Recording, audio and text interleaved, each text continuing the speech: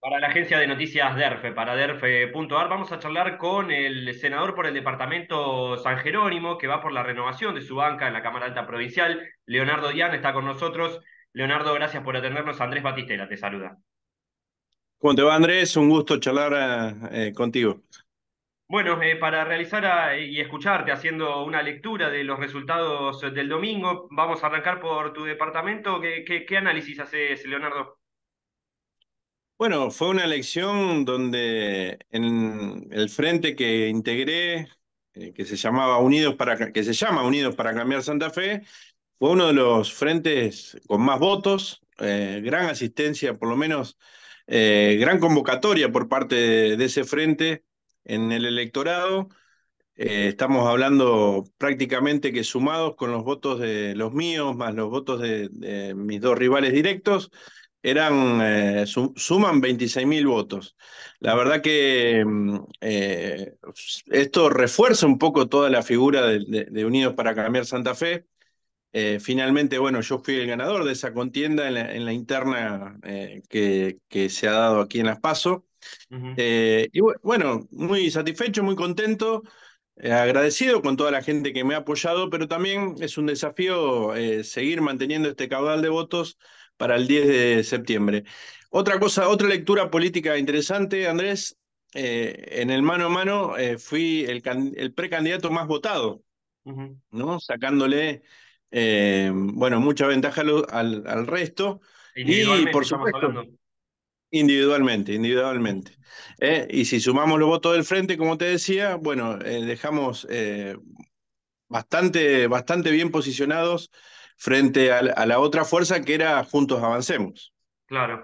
¿Por qué crees, eh, Leonardo, que se dio esta victoria de prácticamente casi en todos los departamentos de Unidos para Cambiar Santa Fe? Algunos decían la, la ola amarilla, pero me parece que esta vez la ola viene más radical, más roja y, con boina blanca.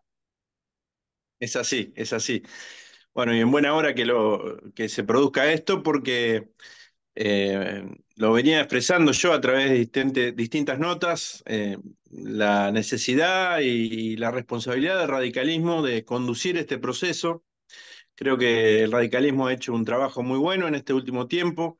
Eh, siempre fuimos acompañando los, los, distintos procesos, primero el Frente Progresista, luego em, el tema de, Cambiemos, y bueno, aquí en, este, en esta coalición que se hizo en Santa Fe de Unidos, eh, fue el radicalismo el que tomó la iniciativa a través de dos grandes precandidatos. Una era Carol Osada, el otro Maxi Puyaro.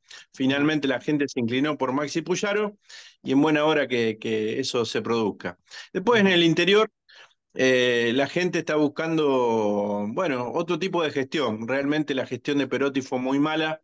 Eh, lo muestran los resultados, tanto a nivel provincial como a nivel eh, de la propia categoría de diputados que compitió Perotti, por lo menos mostrando que la lista de Unidos para Cambiar Santa Fe fue Clara García la más votada, con bueno, un magro resultado, por lo menos desde mi lectura, del actual gobernador. Claro, este, sin embargo, bueno, individualmente él también fue el candidato más eh, votado. ¿Qué, qué, opinión tenés vos, Leonardo, sobre la boleta única? Porque se da este voto donde, bueno, eh, Puyaro, pero Clara García, digo, dentro de la interna de Unidos para cambiar Santa Fe, o Perotti, este, pero bueno, no se traduce en quizás otras, eh, otras candidaturas locales del PJ.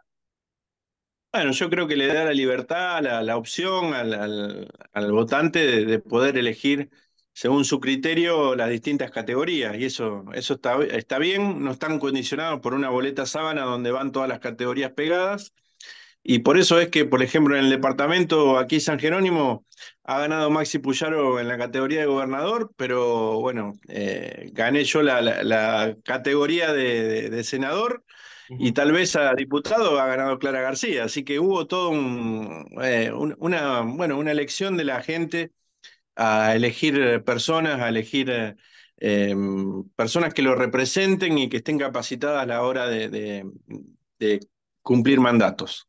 Claro.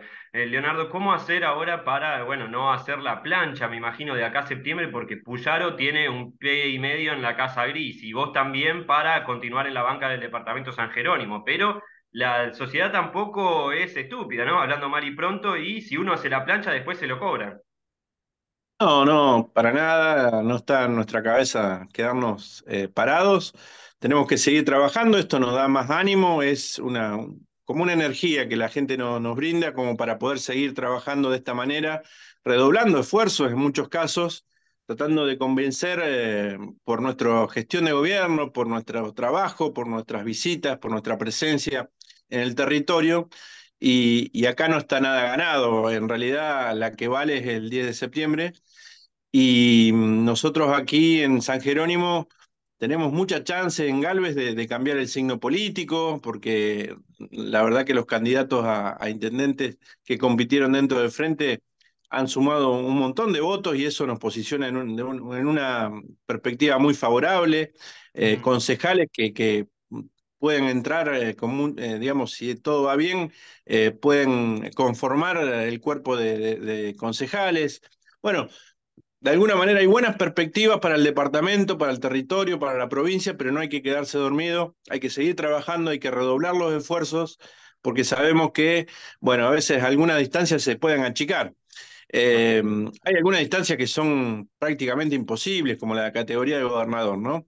Sí. Pero bueno, eh, a seguir trabajando. La gente nos ha dado por lo menos un envión y hay que aprovechar ese envión y traducirlo en, en trabajo territorial. Senador Leonardo Diana, bueno, felicitaciones y muchísimas gracias por el contacto. ¿eh? Muchas gracias a vos, Andrés. Hasta luego. Un gran abrazo. Chao, chao.